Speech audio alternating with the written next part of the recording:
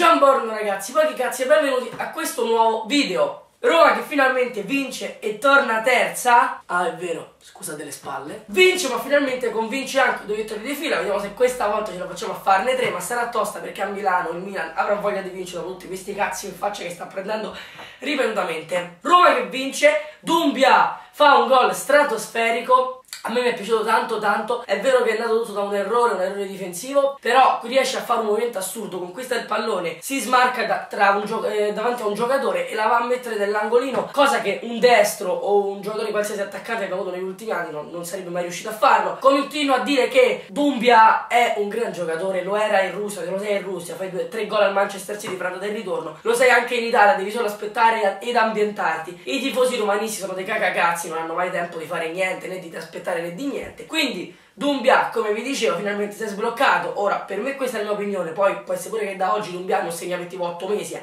però può essere pure che continua a segnare tutte le partite e lo prendete nel culo, come vi dico, da circa gennaio. Questo è il tridente giusto, l'abbiamo capito, i Barbo, Dumbia, Gervinio, anche se Gervinio veramente non fa mai un cazzo, si vede che si trovano bene perché c'è affinità tra, tra tre franco-africani lì, e quindi bisogna sempre mettere quei tre lì davanti, si gioca bene così. Florenzi, mamma mia che ha fatto Florenzi, mamma mia, cioè 60 60 metri palla al piede e, e destro sotto l'incrocio, cioè una cosa ragazzi fantastica, fantastica, da, da goal collection di, di, Sky, madonna che gol. Roma che quindi prende questi tre punti, abbiamo fatto il sorpasso, il sorpasso, cioè magari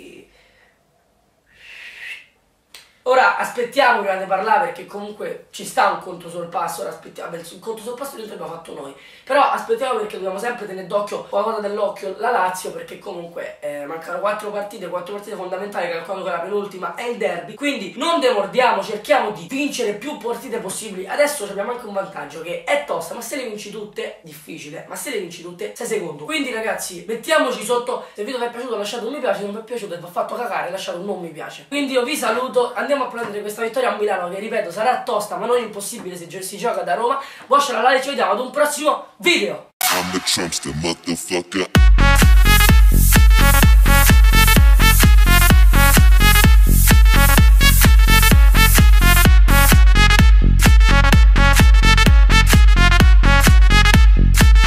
Trumpster, motherfucker.